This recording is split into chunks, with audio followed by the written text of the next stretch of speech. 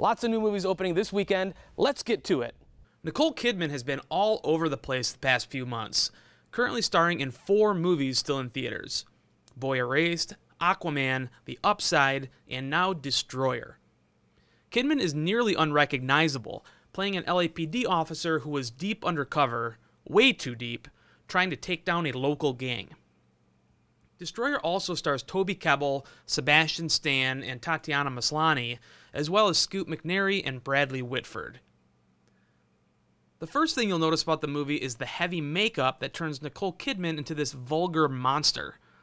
It makes you understand the damage that this character has endured, but it really is more of a distraction than anything else. If the character needed to be, shall I say, ugly, then why not cast somebody a little bit less recognizable than Nicole Kidman? But her character is a reflection of the brutally violent, ugly underworld in which she finds herself. The film has a gritty noir feel to it, but the narrative, flashing back and forth in time, is all over the place and nearly as distracting as the makeup. It's directed by Karyn Kusama, who recently directed a film called The Invitation. That film, too, took a premise that had promise, but just wasn't focused enough to be effective. Destroyer is a tough watch about shady characters, none of whom have any redeeming qualities. With no one to root for, I'm afraid the point of it all was just lost on me. I give Destroyer a C. Next up is a small indie film called The Standoff at Sparrow Creek.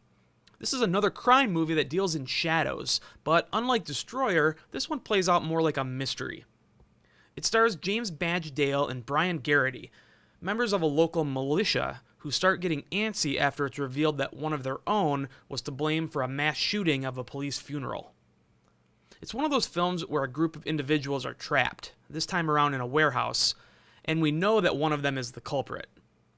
As the movie unravels, we learn that each of them connect in unsettling ways, and we're led to believe that the killer could be any of them at different times. You can tell that this movie was made on a shoestring budget because the entire thing is just a lot of talking.